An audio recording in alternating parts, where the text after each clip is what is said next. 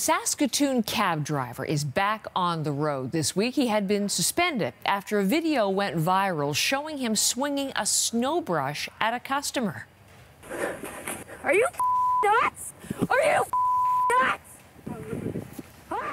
You maybe saw that video right here on CBC News Network. It was the tail end of a heated exchange, obviously, but we never knew how this started or why until now. The cab company has released its own video, and Michael's going to take us through that.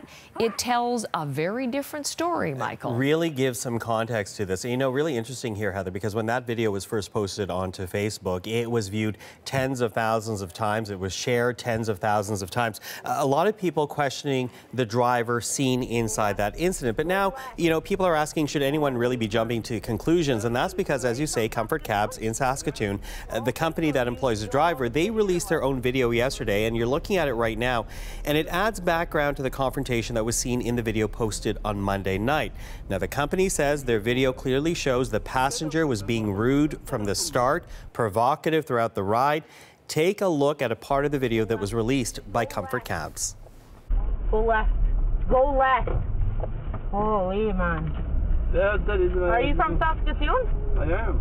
Okay, so you don't know the city or what? Where are you from? Then let me go, like, you know. Maybe you should go back. You should go back.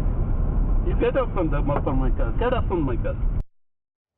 And she refused to get out of the car. And after that confrontation, in the cab, this is what then followed. The video posted by the passenger on social media in which the cab driver says he should kick her behind and swinging the snow brush. The passenger saying, are you out of your mind?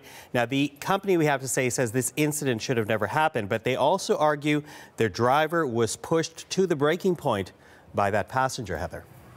And so the company coming out with this video to defend its driver. But what else led them to uh, release this? Well, essentially, they are standing up for all their drivers because they say the kind of behavior that the driver in the video had to put up with is unacceptable. They don't condone the eventual breakdown, but it only came, they say, after he followed the procedure and was polite through the ride. Again, that is their words, not mine. And for the company, bottom line, while they expect their drivers to be professional, they also don't think drivers deserve to be berated.